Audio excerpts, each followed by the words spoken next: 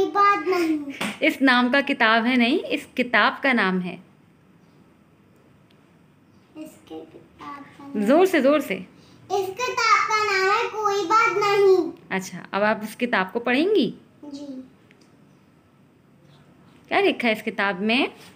इस किताब में लिखा हुआ है मोटे हो या दुबले हो अच्छा। कोई बात नहीं। अच्छा।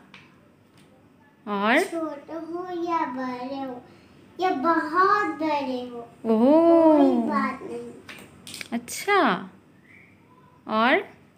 काले हो या गोरे हो? कोई बात नहीं। कभी कभी गलती भी हो जाए अच्छा। और? कभी कभी भागने दौड़ने में पीछे भी रह जाते हो। आशु आप थोड़ा ज़ोर से बोलेंगी। कभी कभी कभी कभी इंसान कभी कभी भागने दौड़ने में पीछे भी रह जाते हो। अच्छा। हम्म। और येलो वाले पेज पे क्या लिखा है? कभी कभी इंसान में अच्छे नंबर नहीं आते। ओ अच्छा कभी और? कभी रोना भी आता है कोई बात नहीं। और? और? कभी कभी अपनी पसंद के कपड़ा पहनना अच्छा। और? कभी कभी घर का खाना पसंद नहीं लगता।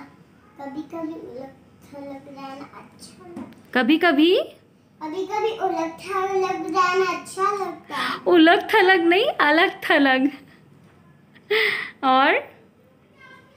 कभी कभी छुट्टी के दिन देर तक सोना अच्छा लगता है कोई बात नहीं कोई बात नहीं। कभी कभी कमरा बिखरा रहता है।